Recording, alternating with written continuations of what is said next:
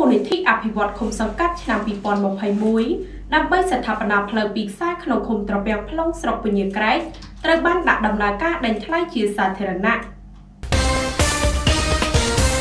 នៅសាលាស្រុកពញាក្រែកនាព្រឹកថ្ងៃទី22ខែកញ្ញាឆ្នាំ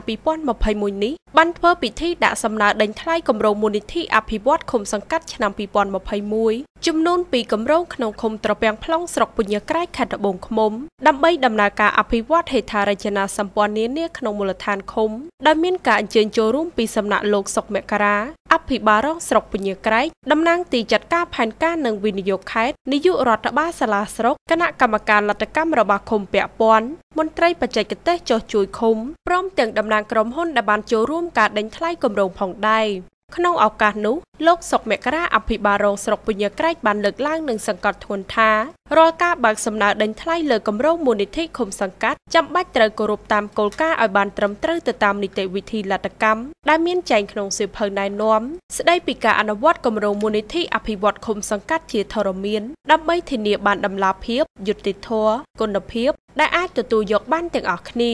បន្ទាប់ពីបានដំណើរការបើកឯកសារសម្រាប់ដាក់ដេញថ្លៃរបស់បណ្ដាក្រុមហ៊ុនដែលបានចូលរួមដេញថ្លៃរួចមក លោកសុកមករាអភិបាលរងស្រុកក៏បានថ្លែងលើកឡើងថាតាមទិន្នភាពជាក់ស្ដែងការដេញថ្លៃគម្រោងមូលនិធិឃុំសង្កាត់នេះគឺប្រព្រឹត្តទៅមិនមានសម្ព័ន្ធភាពគ្រប់ទម្រង់ហើយក្រុមហ៊ុនដែលបានចូលរួមដេញថ្លៃអនុវត្តបានយ៉ាងល្អប្រកបដោយតម្លាភាពនិងត្រឹមត្រូវតាមច្បាប់និងលក្ខខណ្ឌនៃការដេញថ្លៃគណៈប្រធានគណៈកម្មការលទ្ធកម្មយល់ព្រមទទួលយកគម្រោង ជាលទ្ធផលក្នុងកិច្ចដំណើរការបើកសំណើដេញថ្លៃគម្រោងស្ថាបនាផ្លូវទាំងពីរខ្សែក្នុងមូលដ្ឋានឃុំត្រពាំង plong នេះរួមមានគម្រោងសាងសង់ផ្លូវបេតុងអាមេប្រវែង300ម៉ែត្របានទៅលើក្រុមហ៊ុនទទួលការហ៊ុនសោភ័ណ្ឌនិងគម្រោងសាងសង់ផ្លូវក្រាគ្រោះក្រហមប្រវែង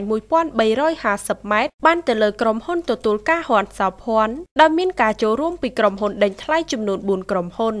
បន្ថែមពីនេះលោកសុកមករាអភិបាលរងស្រុកក៏បានមានប្រសាសន៍ថាក្រោយការដេញថ្លៃត្រូវបានបញ្ចប់សូមលោកលោកស្រីជាក្រុមហ៊ុនទទួលបានសិទ្ធិទទួលការទាំងអស់ត្រូវអនុវត្តឲ្យបានត្រឹមត្រូវតាមបទដ្ឋានបច្ចេកទេសដោយធ្វើយ៉ាងណាអនុវត្តគម្រោងសាងសង់ផ្លូវទាំងនេះប្រកបដោយគុណភាពបម្រើផលប្រយោជន៍ជូនប្រជាពលរដ្ឋបានយូរអង្វែងនិងចូលរួមអនុវត្តបានជាប់ជាប្រចាំតាមវិធានរបស់រាជរដ្ឋាភិបាលក៏ដូចជាក្រសួងសុខាភិបាលពិសេសវិធាន3កុំ3ការពារ